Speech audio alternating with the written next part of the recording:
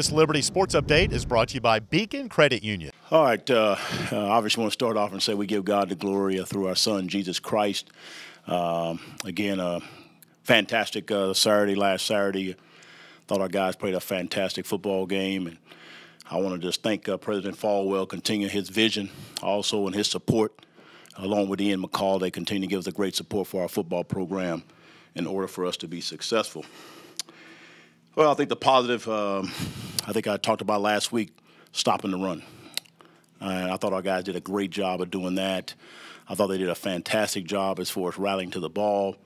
Um, the front line, the linebackers, the secondary, I thought they did a fantastic job of doing the things they need to do to stop the run. That was the key. Then our offense, you know, they did a maybe in the early in the game we didn't uh, quite get as much, but again, you keep running the football, keep running the football, and then the third quarter, the fourth quarter, things start to pay off, and I saw that happen, and so that was great. Speaking about the fourth quarter, that's one of the best fourth quarter I've probably been associated with. Uh, that's what you like to see in your team. The third quarter, the fourth quarter, where you uh, you know have a lot of success. Uh, tremendous opportunity for our guys to do that, and they did that. All right, let's turn on over to the Army. Um, it's going to be a great challenge for us uh, from the standpoint of uh, their offense. Um, I know that last year they had 360 yards per game. Uh, I know that that was a, a outstanding year for them. Uh, I think one of the best years they've ever had in Army history. Jeff Monken is definitely um, uh, a part of the Paul Johnson, uh, Georgia Tech coach, and part of that option attack, triple option. They do a fantastic job with it as far as they continue to do all the things they do in that area. Defensive, they run a 3 4 defense. Um, they do a little variety of things. They'll blitz from all different uh, aspects of the game, and so we're going to have to be on top of that. Special teams, they do a variety of sets, uh, punt team. Uh, they do a lot of different formations, uh, field goal. Jeff Monken has a history of knowing that he's a guy who likes to. Um, if you want to say go for it uh, on fourth down, no matter what the uh, situation is. Balls on the minus 20, balls on the minus 15. He'll run a fake punt. Uh, field goals, opportunity presents itself. He'll do a little bit of those mixture too. So we have to be prepared for that.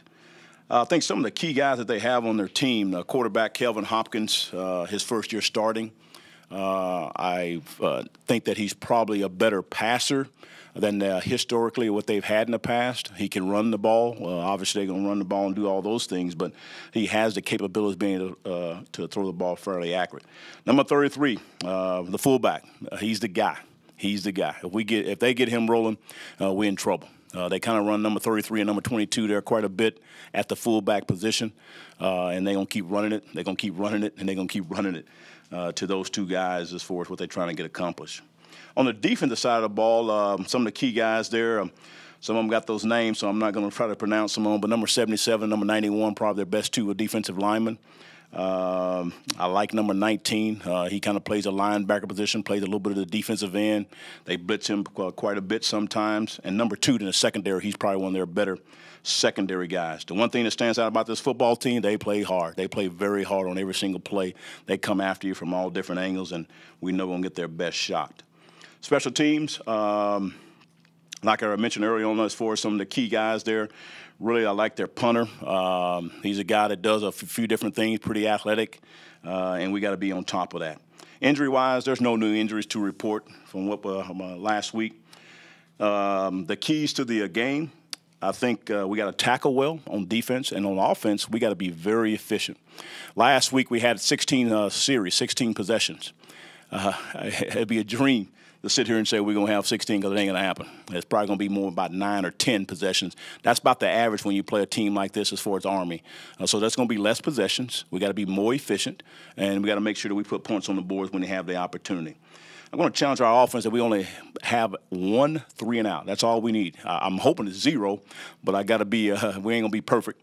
Uh, so if we can kind of uh, be efficient on offense, meaning we only have one or less three and out and tackle well on defense. Uh, that's a must. And then uh, really, got to win the turnover. We cannot give them an extra possession. Uh, because that's detrimental. Again, uh, last week they averaged 10, I think it's almost 10 minutes per quarter that they held on to the football. And again, 15 minutes in a quarter where you only get the ball four or five minutes in a quarter. That's why you got to be very, very efficient. Open it up to some questions. Coach, when you uh, were able to look at the film from the Old Dominion game and kind of assess things a little bit more in depth, what were a couple of things that stood out to you, good or bad, about your team?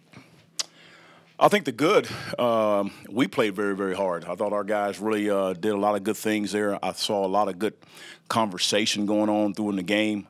I saw them uh, continue to play hard. I saw our guys uh, bond together. Uh, obviously, a second quarter there, we struggling from an offensive perspective, but we continue to play very, very hard. Continue to believe in what we had to get done. It was almost really just self-inflicted by us. Uh, then I think the um, the bad thing about it, about I thought we didn't tackle quite as well. You can say that hey, in the beginning of the beginning of the year, you're going to probably have that. Uh, but again, I'm looking for perfection. I want our guys to execute to the best of their ability, and we, we struggle a little bit in that.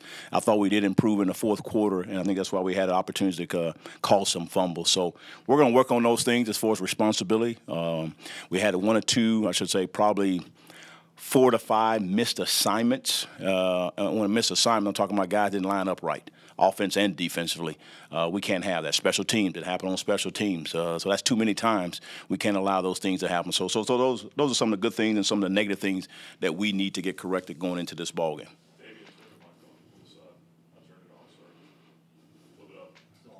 Coach, with Hopkins throwing the ball 17 times against Duke, is that a wrinkle that you expect Army to have to have the opportunity to throw the ball a little bit more? Was it more situational where they um, I think that um, part of it was the game.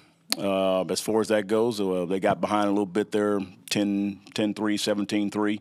And I thought that situation there, they threw the ball a little bit. Uh, they fumbled the ball a couple of times. They missed a field goal. Uh, so I thought that they kind of maybe decided to go with his strength. Like I said, he is a pretty good passer. Um, and I think they went to that a little bit. But again, they also were not able to get 33, the fullback, going. So I think that's what they uh, thought to go to the best uh, mood of football was to have him to throw the ball.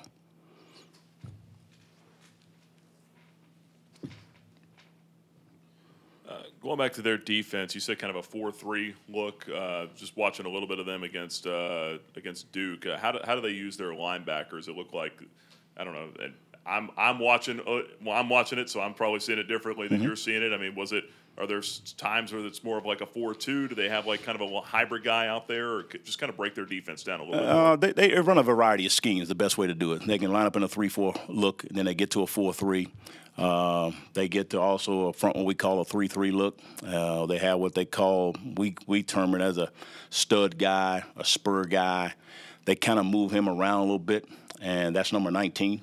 Uh, he's a guy that kind of moves around and do a lot of different positions. Um, and so they, they do a lot of different schemes. They've had a lot of success. I think Coach Bateman has been there four or five years, uh, really has done a fantastic job with them, and their guys are disciplined. They know what they're doing, and sometimes you can't do a lot of those things unless you believe that your players can execute it. And they do a pretty good job. Uh, so those are the things. There are going to be a few little wrinkles that we haven't seen before. Every game, they do have a, a few new blitzes that they do and you know you can't cover everything as far as on every little thing that they do, but uh, there is a little bit of uh, uncertainty as far as what they're going to do and how they're going to line up. Coach Monken mentioned after the game that he thought Duke's uh, bigger offensive line was able to push their smaller defensive line back and be able to run the ball effectively. Do you hope to do the same thing Saturday with a pretty big offensive line? Oh yeah, we always hope to do that. Uh, establish the offensive line as far as our line against their D line, and, and getting the penetration that we need, and do the things we need to do.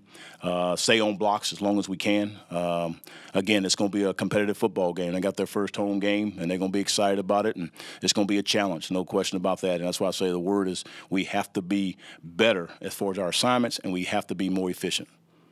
Uh, with this being the program's first ever game against a service academy, and Liberty always being mm-hmm. you know very um, pro-military as a school with lots of online students that are military in the military. Uh, do you look at this game as one you like to continue to see this series go? And also, you know, when you look at other uh, service academies like Air Force and, and uh, Navy, you'd like to maybe get series going with those schools as well?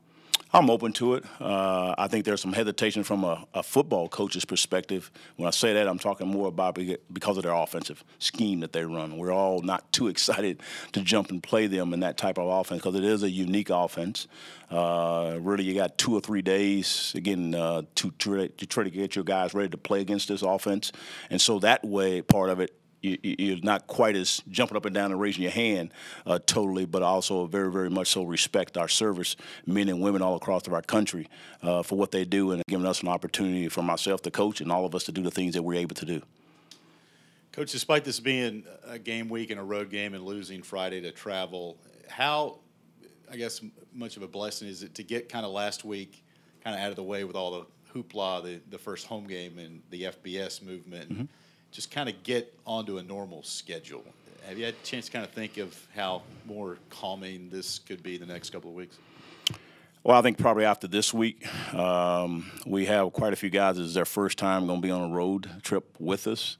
So this is still a little bit of a uniqueness um, in how people handle it. Uh, there's still some people who haven't gone through it and, and want to know what we're going to do now, what we're going to do here. Now, obviously, their teammates can tell them, but it's another thing when you actually go through it. So I think after this week, I can say you can get to a, a little bit of a normal routine as far as that goes. But again, we're prepared. Uh, our guys going to get through all that. Uh, they know what their job is to do is go out and execute the best they can and, and focus on the task in hand and not get caught up in all the other things. Again, you get into aspect, you know, mom or dad or people calling you, getting tickets, you know, all those little different things are different too from home or away. And so anytime you do something the first time, you don't know what to expect out of guys. But I know we're going to do a pretty good job of preparing our guys to be ready to play at 12 noon on Saturday. Looked like Duke kind of had some success against them throwing on first down and kind of getting them out of their base a little bit. Uh, do you feel like it's something where you can kind of uh, maybe almost throw to set up the run against them? Uh, we're still studying all that at this point. We got a preliminary uh, game plan as we're uh, what we're thinking about doing and all those, but we're still going to find out more details as we continue to evaluate the tape and, and the things that they have done. Uh, again, we only have one game from this year, but obviously we've studied them from the past few years and what they have done and, and uh, all their games. But again, we think we can do what we need to do on offense. If we need to throw the ball, we can throw it. We need to run it, we can run it last year against Baylor, the entire five offensive line played the entire game. Uh, mm-hmm. Last week, you rotated only Damian Bounds in until you got the second string in. Are you set with those five, and you feel like you have a few other guys behind it, but you're primarily sticking with the main rotation now on offense? Uh, I think there's probably six or seven guys that we feel very comfortable with. Um, you know, we'll go um, evaluate this whole week. Uh, Damon Bounds the guy who had a very, very good week last week, and even with the preseason, a guy that we felt comfortable with uh, to go ahead and play some reps early. Um, you know, I think Passmore is a guy that we feel comfortable with to being able to play. And so, again, I think six or seven guys we feel comfortable with to go in and play at this point in time. We haven't said at this point in time that, hey, Bounds is going to get reps on the second, third, fourth series. Later in the week, we'll make that decision regarding the Army offense and the option, sometimes the media will say we're going against triple option. Sometimes the coaches will say, well, it's not your traditional triple option. Is this traditional triple option? And, and describe what you're up against defensively Saturday. Yeah, I think they they have a normal triple option. Some people sometimes they're going to run more of a triple option, or they're going to run less of the number of triple options. And gets going with the, describing it a little bit. The triple option is a fullback guy. They reading it sometimes, and then they also have the quarterback to keep it, or they're going to pitch the football. Uh, they probably have done a little bit more. I'm going to call it a double option, meaning that they don't have the either give it to the fullback or the quarterback's going to keep it. There are some design runs where they do do that. Uh, so again, they, they do have all those schemes in uh, in their repertoire. Uh, I think we don't know yet much about them with this quarterback, new quarterback they have, how much they're going to do what. It's still early in the year. Uh, but I do know, as far as watching the quarterback and knowing that he is a better passer than what they've had in the past, and, and they don't afraid to do that. Obviously, the first ball game, they've already thrown uh, you know one third of the much what they did last uh, last season. So uh, that's the type of scheme we're going to see, and we'll we'll be ready for it. Aaron did a great job kicking last week. Do you have an update on Alex for us? Alex Probert, uh, he's out definitely for four weeks. Uh, after four weeks, we'll have an evaluation and see where he's at. Next question along the lines of personnel. Do you anticipate some competition this week between Damian King and DJ Stubbs for who's going to get the start and maybe more of the reps on Saturday, or do you have a plan to go with one or, or the other? Uh, I think right now here we're going to see how it goes through the week. Uh, probably leaning toward more with Damian King, but uh, we're going to play them both. You know, who starts, who doesn't start. We're going to rotate all those guys in anyway. Uh, but again, we'll evaluate it as we go through the rest of the week.